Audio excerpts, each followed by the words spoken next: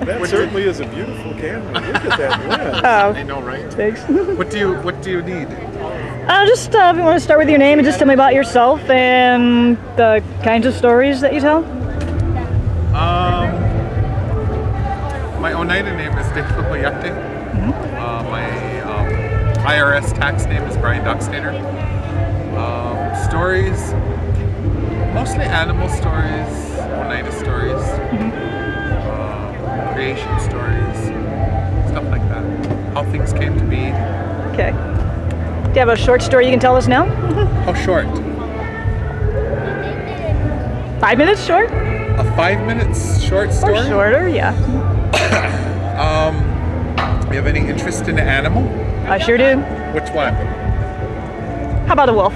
A wolf. Okay. Um, it's about seven or eight minutes long, if that's okay. That's fine. Okay. Um, wolves represent family. So for Oneida, there are three clans. There's Turtle Clan, Wolf Clan, and Bear Clan. And the wolf are the pathfinders. They're the leaders, but they also represent the importance of family. So this is a story that kind of represents that part. So um, a long time ago, there's a small boy, and both his his mother and his father had died, and so he was given to his aunt. Now, in our language, when you greet your mother, you say segona, and when you greet your aunt, you say segona. It's the same word because they carry the same responsibilities over each other's children. So, this aunt, she didn't have children of her own, so she didn't really know how to raise him in a good way. So in the morning when the sun rose, she would prepare a meal for him to eat, and then she'd say, It's time for you to go out in those woods. And you stay out there all day long so you're not in the way of all the work to be done. And so he would go out into the woods, and she told him when the sun starts to go down, it's time to come back, time to eat, time to go to bed. And he would be out there in the woods playing all by himself, and he'd have such a good time that the sun would almost be down and he would remember that he was supposed to go home. So he'd run back to the longhouse as fast as he could and he's tired and he's hungry and he wants something to eat and his aunt would say, No. You weren't here when the meal was prepared and so he'd have to go to bed, tired and hungry. Well, the next morning he would get up again and she would have a meal prepared for him and give him those same instructions. You know, go out into those woods and stay out there all day long so you're not in the way of all the work to be done. Well, one day he was out in those woods and um, he was dry and he wanted some water. And so he knew where the stream was. And when he got to the stream, there was a whole pack, a family of wolves. And they were playing in the water. They were having a really good time. And that little boy, he liked what he saw.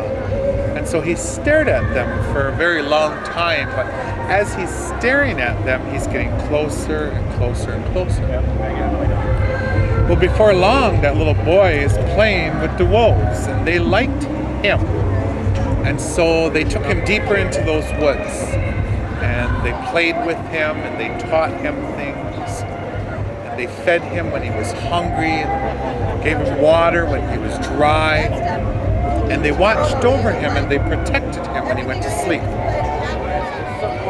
So the next morning, that woman in that longhouse all of a sudden remembered that little boy, and he had been gone all night long.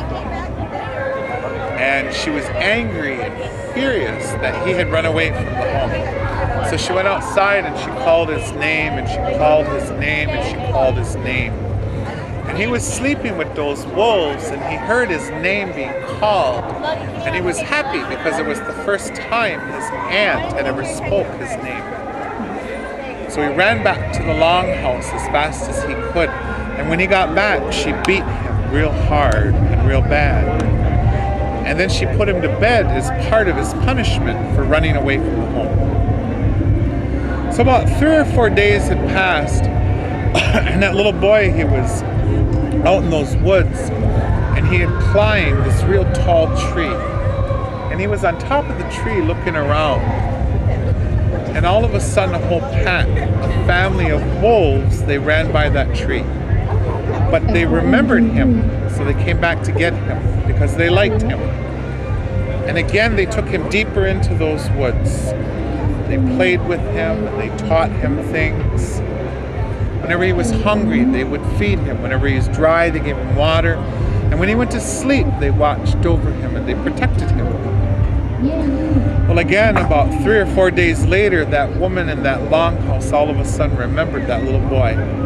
And again, she was angry and furious that he had again run away from the home. So she went outside and she called his name and she called his name. And again, he was sleeping with those wolves and he heard his name being called. And he was happy because he was wanted back in his home.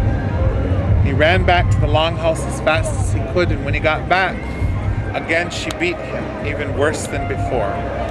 And again she put him to bed as part of his punishment for running away from home.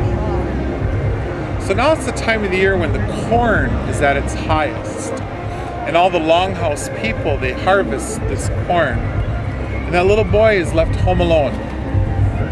One day he walked outside of the longhouse, and there at the edge of the woods, is a whole pack, a family of wolves.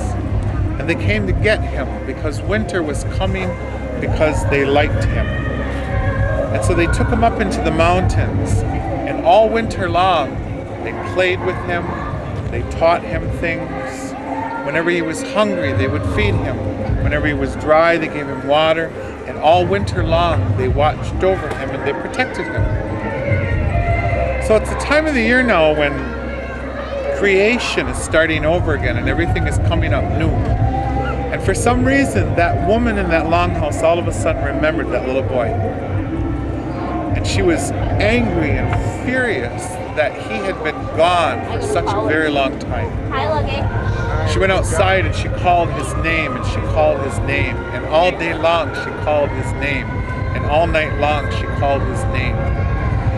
And in the morning, when the sun began to rise, and she was still out there calling his name, a whole pack, a family of wolves came out of the woods. And a little bitty puppy walked up to her, and he smiled.